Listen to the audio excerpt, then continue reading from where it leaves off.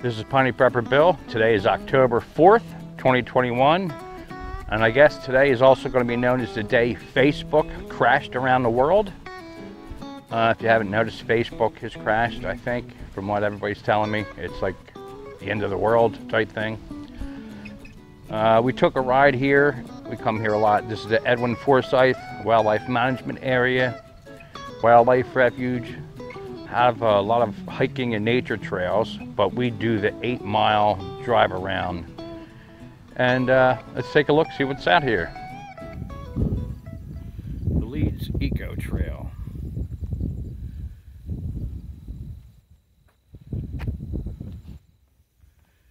So I'm out here at the Edwin Forsythe Wildlife Refuge area, the Wildlife Drive. And they have this eco trail that goes all the way out, looking over by Atlantic City. I mean Atlantic City. And if you can see that, Atlantic City's out that way. And this is all the names, people that donated money, I guess, for this walk. There's Atlantic City out there.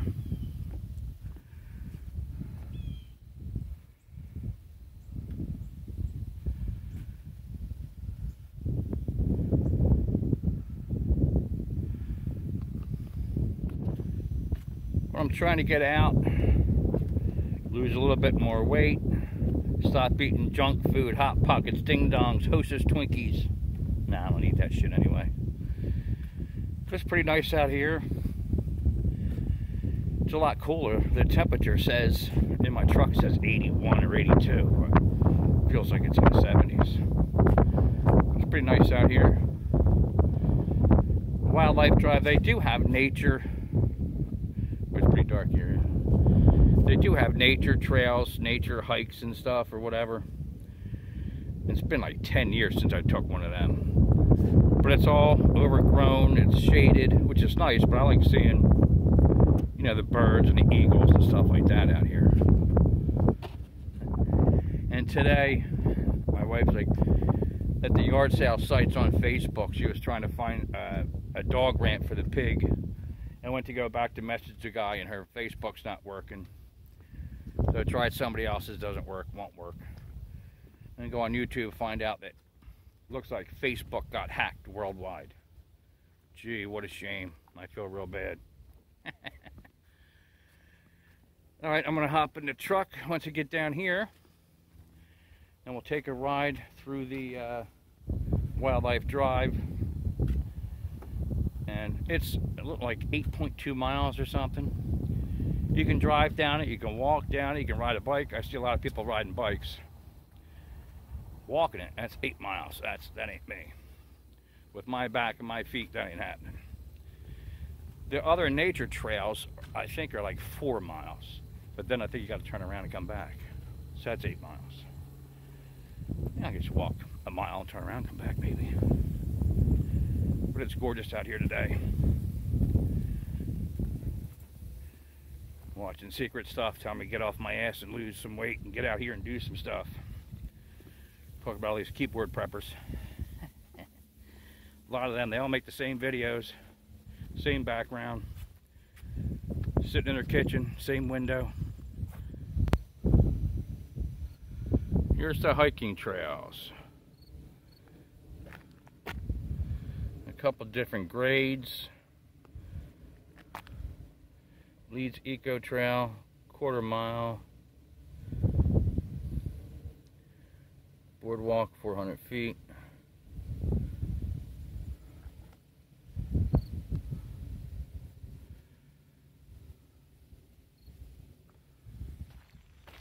Now, have you noticed a couple of these prepper channels, every time you watch them, I'm not saying everybody. Yeah, sometimes, you know, it's cold outside or it's raining or whatever. But a lot of these preppers, they sit at their kitchen table, living room, whatever. Same background, same curtain, same window. And it looks like some of them, they look up the news on their laptop. And then what do they do? They go live they tell you about it. They never even get off the chair. At least that's what it looks like anyway. Same thing over and over again. I can honest, honestly say I have stopped watching every prepper. I can't think of one prepper I really watch anymore. And let me see. Getting dark back here. Nice out here though. Yeah, I can honestly say I don't watch any prepper anymore. Or so-called preppers, I guess you could say. And I think I've watched two people's live streams like two years ago. Every week during the live stream. For the first 15, 20 minutes, all he starts looking, hey, how you doing? Oh, how you doing? Oh, thanks for that donation. Losing train of thought. Every time they talk, I'm going to tell you something important. Think, oh, hey, thank you, thank you. Hey, how you doing? Oh, where was, where was I? Live stream. And then when you watch somebody else, they make a video. Well, I'm going to do this video real quick because I got to get this done because we ought to go over so-and-so's Prepper's channel because he's going to be he's going to be going live in five minutes. I'll meet you over there in the chat. You serious? I don't see any of them doing anything except reporting the news. I can get that. Up. If I wanted that, I would get cable again. I got rid of cable, so I got rid of the idiots. And there's nothing worse than a prepper's live stream when there's two of them. Split screen, talking back and forth. And then they bring another person on. It's pretty nice out here. They got benches out here and you see that? Pitch pine. So yeah, live streams are, what is that important? Do you need a live stream? Going live. Going live tomorrow night, 8 p.m. And one of them 15, 20 minutes you want to shoot yourself. Pretty back here. Real pretty. It's gorgeous. See, I'm trying to get out, get a little exercise. Of course, you know, I got some issues, but some days I'm good, some days I'm in pain. It is what it is deal with it. Doctor said I was going to be in a wheelchair five years ago, and I'm still still walking. I have no idea where this trail goes. It's going to take me right to a swamp, or Bigfoot's going to jump out at me.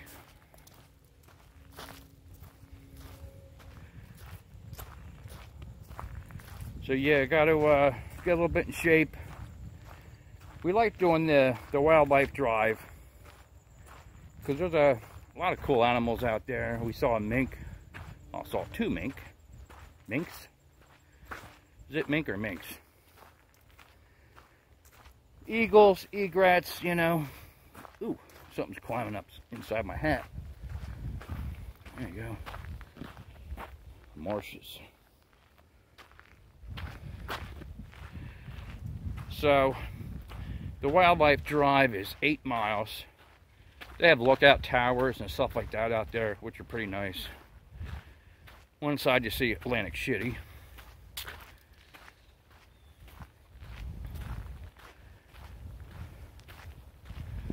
Yeah, no backpack for me. Not yet. Oh, that's where I was earlier, the Eco Trail. Is over there.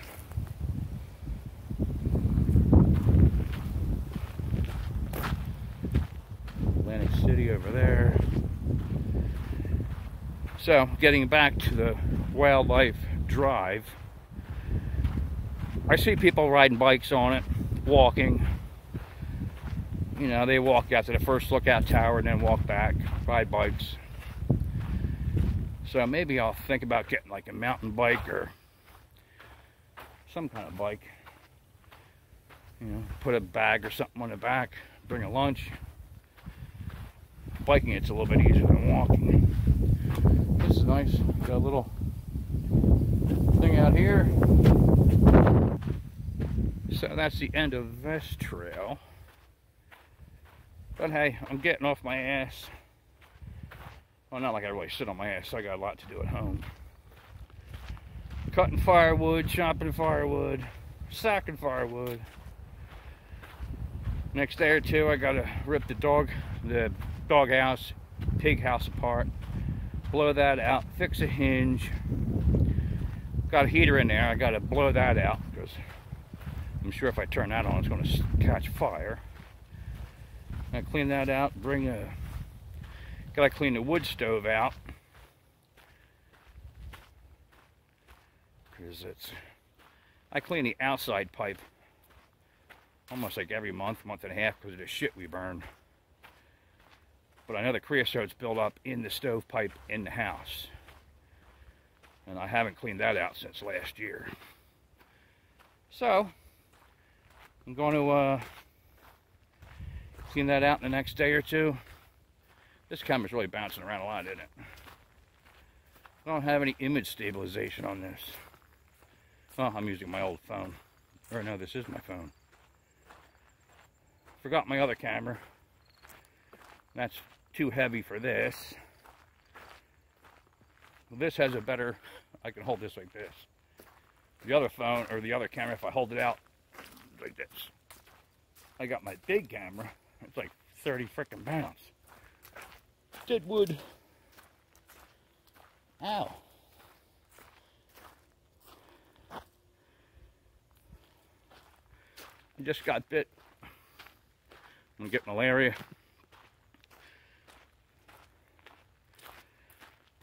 So, I just wanted to videotape some of this. I'm heading back to the truck and then we'll cruise around. All right. Let's go. All right, now I'm at the first, first lookout tower, or observation tower, whatever you want to call it. No, I didn't walk to this when I drove to here.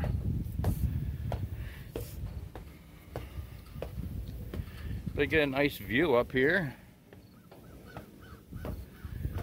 I don't have, the only thing I got is my big freaking camera, like the news camera.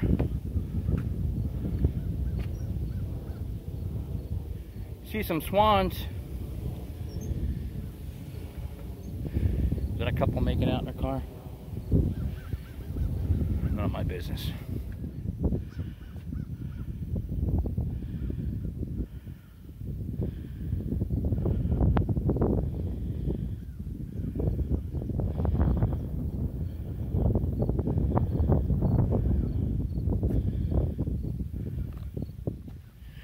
And I did you a favor. I put my hat, I almost forgot my hat coming back up here. And the glare off my head would have blinded you. So I put my hat on for you. Now this is Wildlife Drive. You can see that.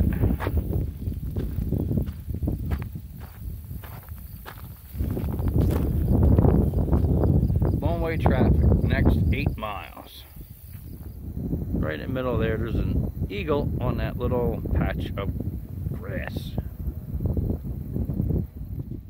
All right, we just got down we just got done driving around the wildlife drive right outside here of Atlantic City on that side.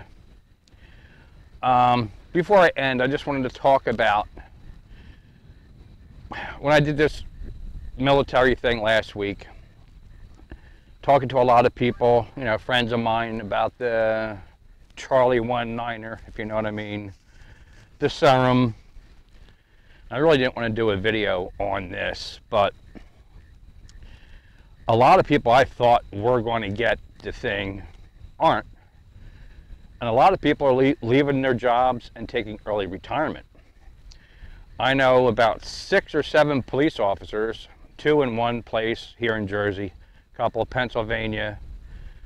Um, the other guy was in Virginia or West Virginia, but from all over. And they're, I think sometime this month, they're required to get it and they're either quitting or taking early retirement. And I know another guy that was, well, is working for the government. He does the surveillance camera stuff in all their buildings. He's their main tech guy. He travels all across the country. And he was told, I think it was sometime this month, he had, he was required to get it or he would lose his job. And he said, well, if that's the case, I'll be retiring next week. And talking to a lot of people, a lot of cops, firemen, uh, one guy I know, his daughter and her husband work at a hospital in, well, I'm not going to say the state, nowhere near here. They were the whole nursing staff, and the doctors were required to get it, and they're not. And it was administered, put it that way. They went into a room, they got the card with all the stuff on it that they need, but they weren't going to take the thing. And uh, it was administered, but not into the body. And that's how they got away with it. And somebody was telling me today that I think in New York, 7,500 or 7,000 policemen were fired for not getting it. You know, that's fine, whatever people want to do. But a lot of people like, you need to get it or you shouldn't have a job, you know. Well,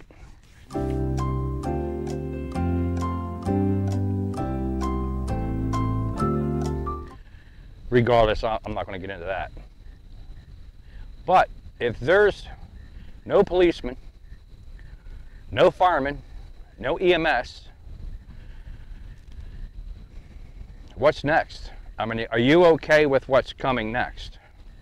National Guard,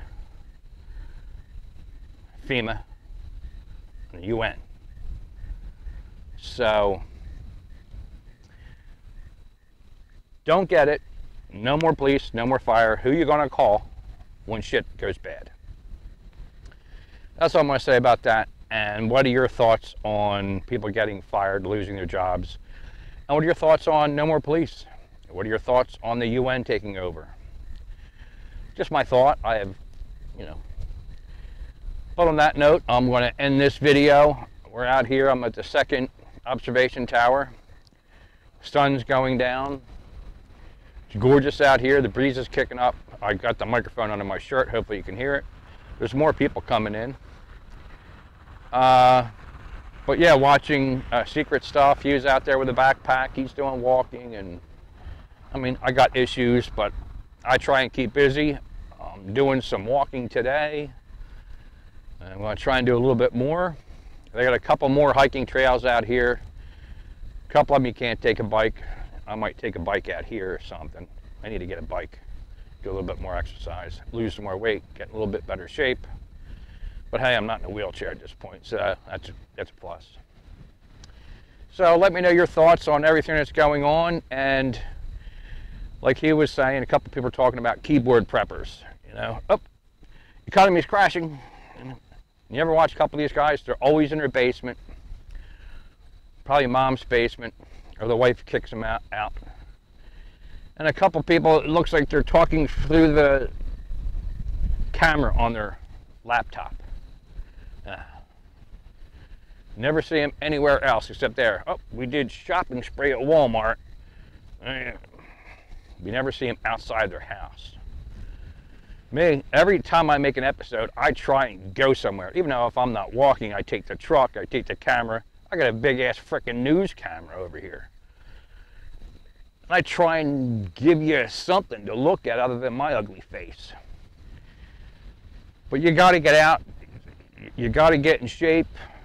And the way things are going, we're probably going to have another lockdown soon. So if I were you, I would get out, enjoy the outdoors while you can. I mean, it was a bit hot as hell here lately. Today was supposed to be hotter than the last couple days, and it's actually gorgeous right now. It feels like it's low 70s, but the temperature in the truck says it's 82. Uh, that makes no sense. But it's gorgeous out here, other than over there. Do a panoramic view, will show you. You see here.